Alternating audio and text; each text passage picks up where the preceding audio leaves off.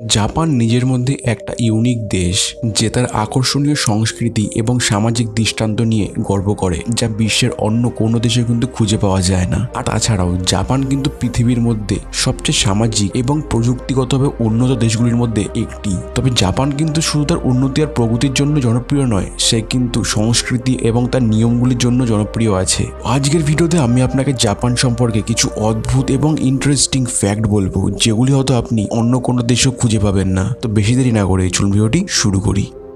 Number one illegal human cloning যদিও একটা মানুষের হিউম্যান ক্লোন বা তার রূপের মতনই আরেকটা কোনো মানুষ, আমাদের কাছে কিন্তু কোনো রেগুলার বিষয় নয়। কিন্তু জাপানে হিউম্যান ক্লোন তৈরি করার ওপর কোনো এক্সপেরিমেন্ট আইনত অপরাধ, যেটিকে সেখানে দু হাজার এক সাল থেকে চালু করা হয়েছিল। যদি কাউকে এই নিয়ম ভঙ্গ করতে দেখা যায় তারা তাকে সেখানে দশ বছরের কারাদণ্ড দেওয়া হবে। এই আইনটিকে প্রয়োগ করার মেন উদ্দেশ্য এটাই ছিল সেইখানে, যাতে বিজ্ঞানীরা হিউম্যান ক্লোন তৈরি করার কোনো গবেষণার থেকে বিরত থাকে। Number two you can't be fat Japan সম্পর্কিত একটা আশ্চর্য রকম জিনিস হলো যে আপনি মোটা হতে পারবেন না। জাপানের সুমো কুস্তিগিরা কিন্তু সেখানে বেশ বিখ্যাত। কিন্তু আপনি জেনে অবাক হবেন যে সুমো কুস্তি আখড়ার বাইরে দেশে কিন্তু খুব কমই মোটা মানুষ রয়েছে। যদিও জাপানিজ ব্যক্তিরা কিন্তু ওয়েল্ড ব্যালেন্স ডায়েট ফলো করে। তবে এটা কিন্তু একমাত্র কারণ নয়, সেখানে মানুষদের রোগা হওয়ার। প্রতিবেদনে বলা হয়েছে যে দু হাজার আট সালে মেটাবো আইন অনুযায়ী সরকার চল্লিশ বছর বয়সী ব্যক্তিদের কোমরের লাইন বা ভেস্ট লাইনগুলিকে পর্যবেক্ষণ করে, যাতে আপনি সুস্থ থাকতে পারেন।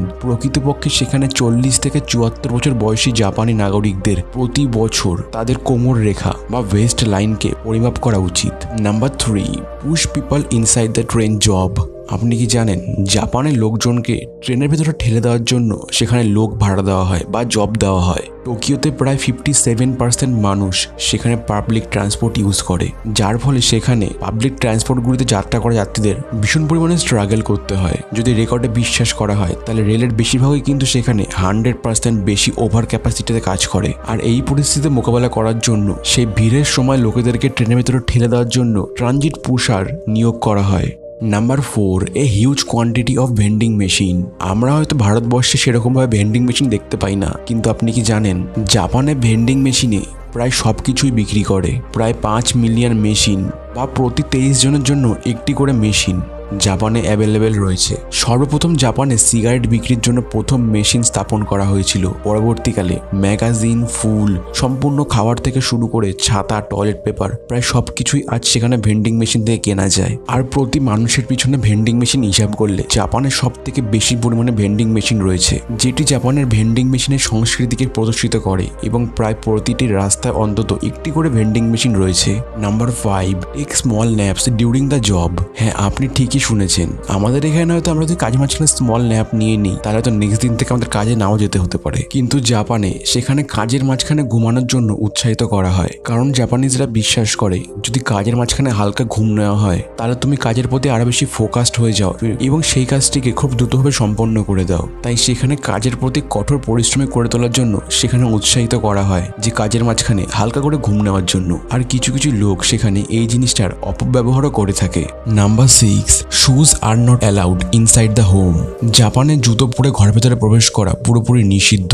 এটা একটা অভদ্র কাজ বলে বিবেচিত হয়। আসলে জাপানে একটি বাড়িতে প্রবেশ করার আগে আপনাকে একজোড়া চপ্পল দেওয়া হবে এবং সেখানে আপনাকে জুতো খুলতে বলা হবে। এবং জাপানিজদের এই রীতিটি প্রথম চালু হয়েছিল যখন সেই সময় তারা মেঝেতে বসে খেত এবং তারা মনে করত, তাদের নোংরা জুতোগুলো তাদের খাবার জায়গাটাকে পুরোপুরি নষ্ট করে দিতে পারে।